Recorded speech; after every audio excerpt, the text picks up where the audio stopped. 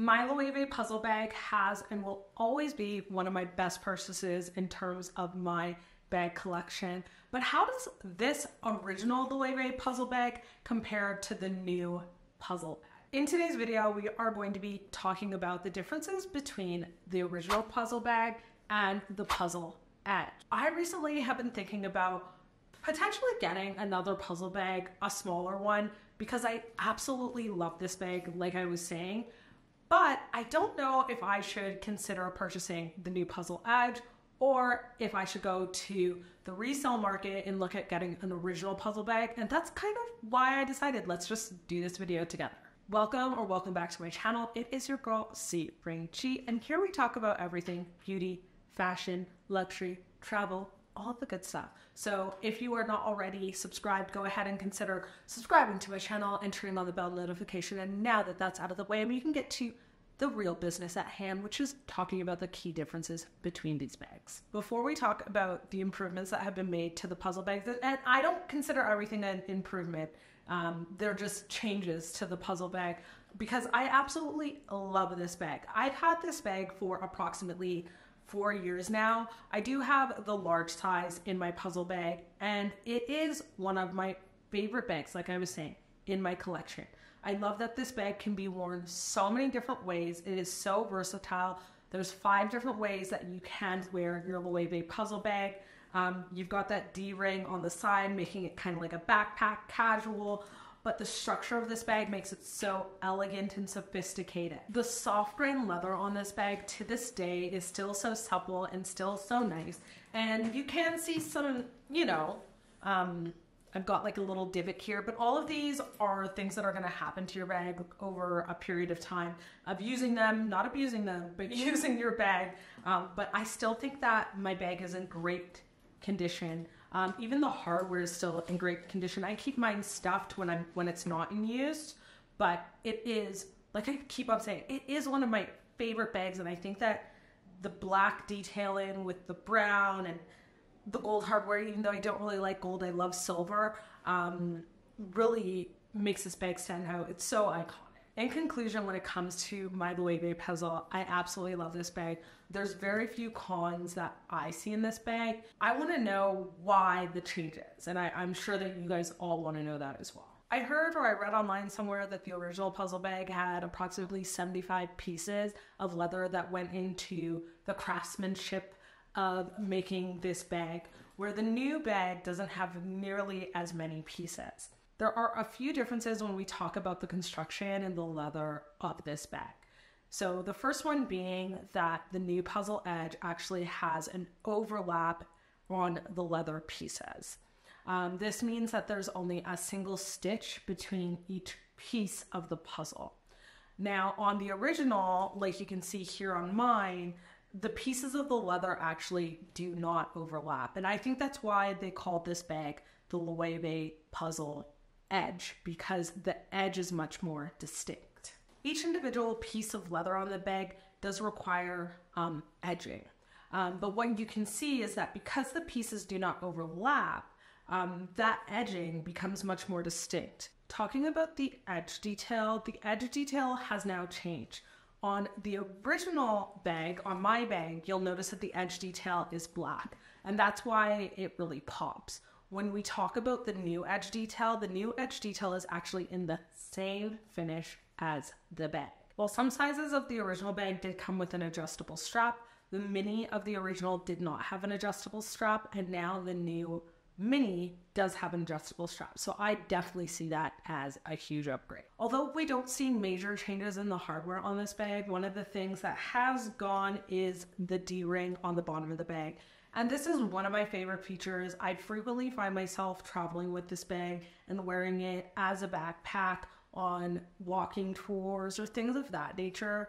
I just absolutely love to wear this bag in that manner.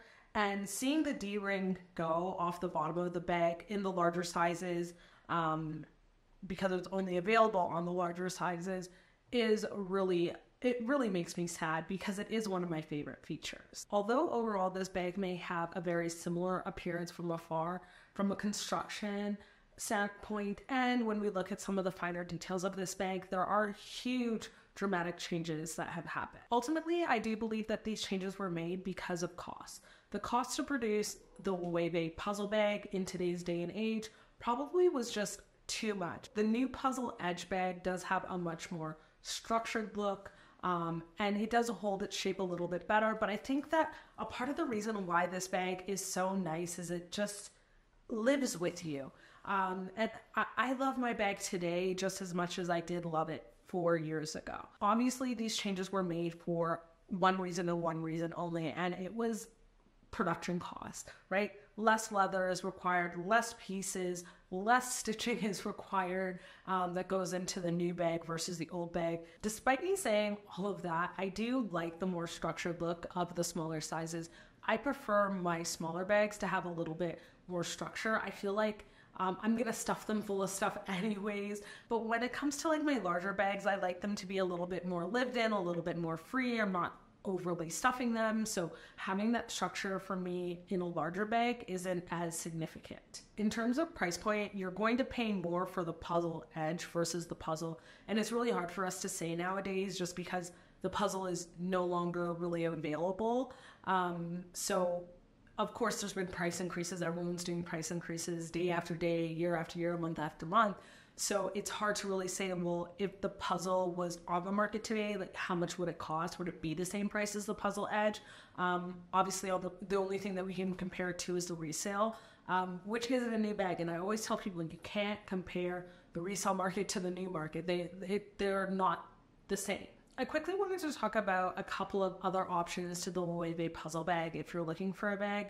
Um, we'll start off with some cheaper alternates to this bag. I would definitely say the Polène Numero Uno bag is an alternate to the Loewe puzzle bag. Of course, this has a more bubbly shape. There's nothing like the Loewe puzzle bag on the market, but um, I definitely would say that one. Another one that I would say would be the Toteme um, bag. Again, more bubbly, but it has that structure um, and a very similar shape and that sagginess in the center um, when you're looking at the two. So I would definitely say that's another one. Again, a cheaper alternative to the Loewe puzzle bag. Sorry, I had to go and look up the last bag because I knew there was one more bag, but it was the Ester Ekme Lune bag. Um, I also think that that bag is a good alternate. It doesn't have as much geometry, but I think that that angular front is very similar. Now for bags that are in the same price point or slightly higher, I would definitely say the Bottega Veneta cassette bag just because of the folding and the all the pieces that go into the bag. Um, I would definitely say that that is very similar. I would also say that the Chanel 19 um, also very similar, just like the slouchiness of it. You know, nothing's gonna have all of the characteristics, um, but the Chanel 19 I think has that like slouchy look, the top handle, the long handle, um, or the long strap on the bag. So the Chanel 19.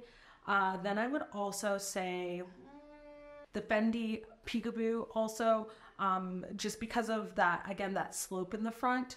But I do still feel like the Loewe puzzle bag is iconic and a, a, a great purchase. Ultimately, it is what it is. The Loewe puzzle bag is no longer available, and the Puzzle Edge is here to stay. So we just have to make a decision on whether or not we feel that the price point of the Puzzle Edge is justified or not. And like I said, I'm so happy that I have my original puzzle bag in the larger size. Um, and I'm okay with a more structured look on a smaller one.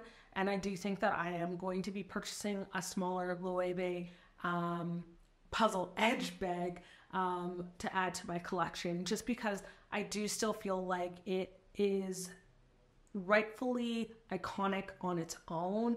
Um, and in terms of luxury bags, I think that it's valued at a great price point. I was recently shopping for um, a larger bag for work and seeing the price points of designer luxury bags um, that are out there today. It's like I may as well be sh- buying Chanel. I may as well be buying Hermes. I may as be at, be at the upper echelon of designer bags that at least I can get my money out of. And I do still think that Loewe is one of those brands. Anyways, I hope that you enjoyed today's video and until next time, see ya.